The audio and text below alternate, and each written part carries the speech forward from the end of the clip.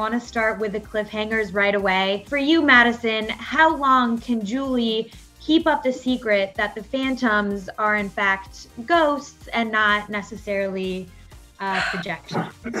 I think that she can keep it a secret as long as she needs to. Flynn was you know her main focus she was just really nervous that her friend wouldn't want to be her friend anymore because she'd think that she was crazy so now that you know flynn understands it. You know carlos i guess he kind of understands it as well. I think she's content with the people that know it now. Like she can like really just sit back and enjoy you know? If somebody finds out somebody finds out That's a good question. I mean, we we don't know. I think uh, people are starting to figure it out, at least minorly. You got, you know, Carlos, Julie's younger brother, that definitely has, has figured it out. We'll see if he like kind of blackmails us into helping him with something. Do the, do the fans want the uh, the world to know that we're ghosts and not holograms? Do you know that? I don't know. I guess it's probably mixed reviews. I think a, fu- a reveal is always fun, but also the mystery is what keeps people watching, right? It's that conflict of not being able to do certain things when you have to pose as holograms and not be ghosts. And I'm sure they'll be playing around with that a lot more. There's a scene where like Julie's talking to Nick and I'm like behind him and I'm like in- impersonating him and I'm like doing all this stuff and th- it was one of the funniest things to film. So it's like I think there's more stuff that we can kind of do. Like they're ghosts, they're there, nobody can see them, and they're messing around with people there. So we do see Caleb take over Nick's body. Why Nick? I asked the writers, and they said all will be revealed in season two. That didn't help me much. I think that's going to be the fun thing if season two does happen. Just digging into the backstory and what is his obsession with this band? Why this band? Does he have a specific thing with one of them or all three? Those are the fun questions I hope we get to answer. He must have a personal connection with one of them. I just can't figure out any other reason why he would be so resigned to like it's all about Sunset Curve. So How are you guys embracing this Netflix heartthrob status? I mean, I've seen the tweets, I've seen the comments. People literally love you guys. Have you seen the memes? And the I've meme, seen the memes. all the memes. Mm. it's kind of surreal. It's pretty funny because we always would like joke about certain things with like man crushes on each other before all of it, but then seeing like some of the things that we would joke about with each other be like genuine from people that are they're posting just makes me laugh so hard. It's so funny. Yeah. Especially Yeah. especially with Charlie. Especially with Charlie. I mean, Charlie, have you seen the memes and all the comments about you and like the tank top? Like the like the cutoffs, yeah. There, there's Yes. a few funny ones Yeah. out there. The, actually, the mastermind behind the memes are all Jeremy and Owen. It's like they're they're they're definitely out there. I also want to talk about Julie and Luke's relationship. Where do you guys see that going in season two? It seems like they're more than friends, but how can a real person and a ghost possibly be romantic if that's where this is going? I think that's Right. the fun that I think that's the fun that Dave uh, Hoge and Dan Cross are going to have. Our writers, they're going to have a lot of fun with that. You know, the mythology, living in this ghost world and this like heightened reality of the city of angels and where that relationship goes. The one thing for sure we do know is that they have this uh, mutual love for songwriting and performance, Yeah. and and I think that, that that's a love right there. You know, a connection right there.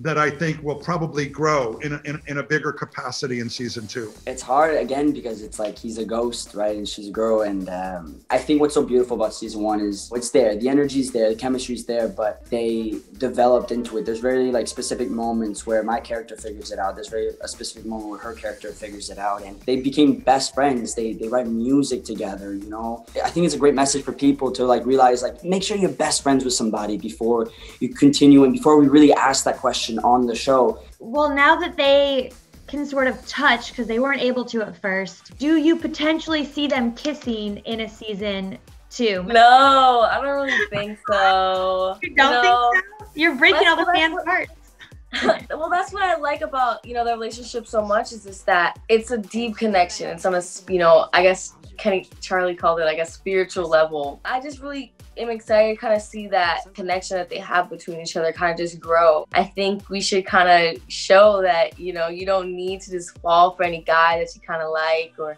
you can like you, you can take your time you know we still don't know if this is for you know if this is certain if they're just gonna stay here or if you know how much longer they still have on the earth you know? So you know just enjoying each other's time and even just enjoying the other guys as well just enjoying being a band and especially that they overcome this big challenge and just kind of see where you know their careers can lead into the second season if we get picked up. I was just going to jump in and just say that we're rooting for that. The choices that we have made work. And that I think that there's still a, a long way that we can go in building their chemistry and their connection with one another. And I think agreeing with Madison that there's so much that we can show without having to physicalize it. That's the beauty of, of them not being able to physicalize. Owen, let's talk Alex and Willie, aka Boo Boo Stewart, for a minute, because that was really fun to sort of watch play out. And you guys are both just so likable. What do you hope to see in a possible season two with that?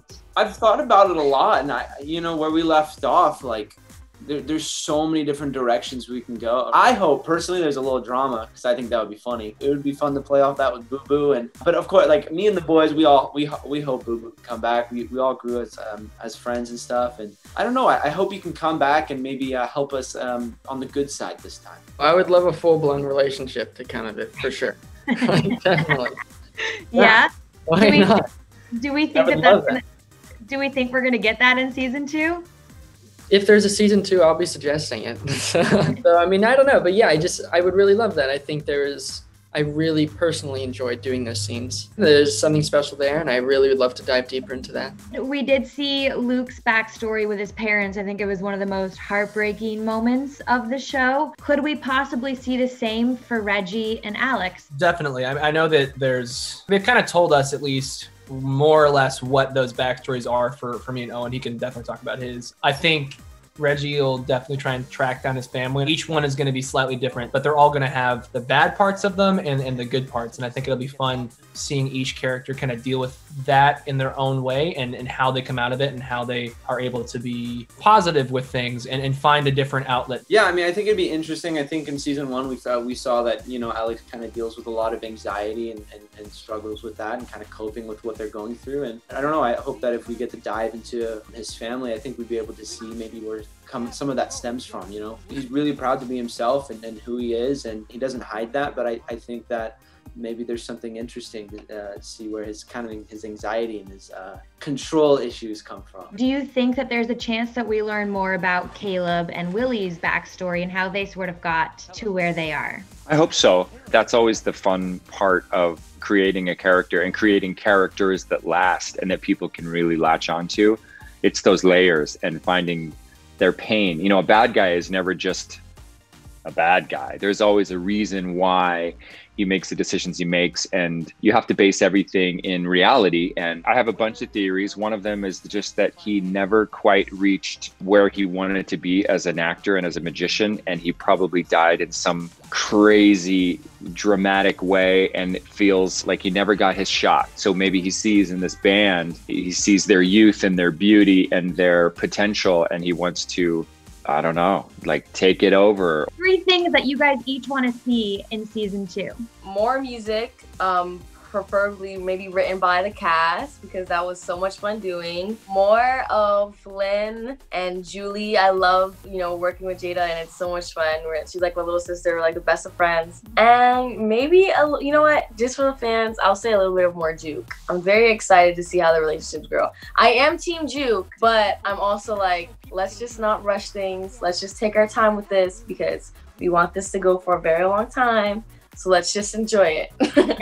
A second soundtrack that catches fire so we can go on tour Ooh. and have two soundtracks of music to play to perform live to see the all the characters continue to develop in rich and wonderful ways and for the end to have a cliffhanger that begs for a season 3 Kenny Ortega mentioned wanting to possibly take this show on an actual real life tour.